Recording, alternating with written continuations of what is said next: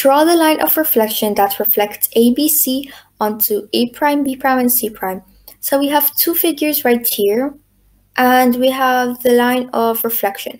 So what it's trying to tell us is that we should draw or drag this line in between the two figures. So let's start doing this by counting one of the points. You can count any point you want. Let's do A. So you can count one, two, three, four, five, six.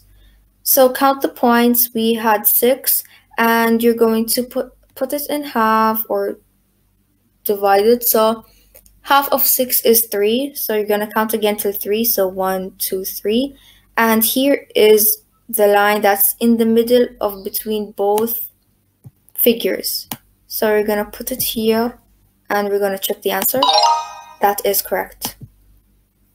Draw the line of reflection that reflects ABC onto A prime, B prime, and C prime. So again, we have this figure, but this time it's up here. So it's fine if it changes position. So now what we want to do is count. So you can choose any any point. Let's just choose C. So we have one, two, and we don't really have to count it, but it's it's in the middle. You can also count A if you want, any points you want. So let's check again. One, two, three, four, five, six, seven, eight. Half eight is four. So again, one, two, three, four. So this is in the middle. So we're gonna put it down here.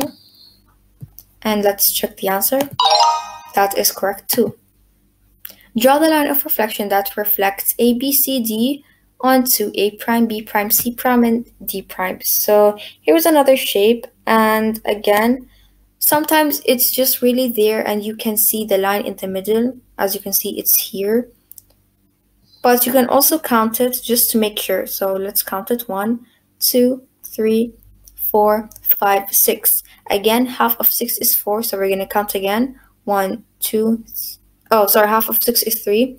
Uh, so it's three and it's clear in the middle here. So we're gonna put the line down and check the answer. Draw the line of reflection that reflects A, B, C, D onto A prime, B prime, C prime, and D prime. Again, what we're going to do is count one of the points. You can choose whatever you want. Let's do B. So one, two, three, four, five, six, seven, eight. Half of eight is four, so we're gonna count till four. One, two, three, four. And here is the middle. So it's right here. And check the answer. And that is correct too. And here's the summary. We got four out of four and we're done.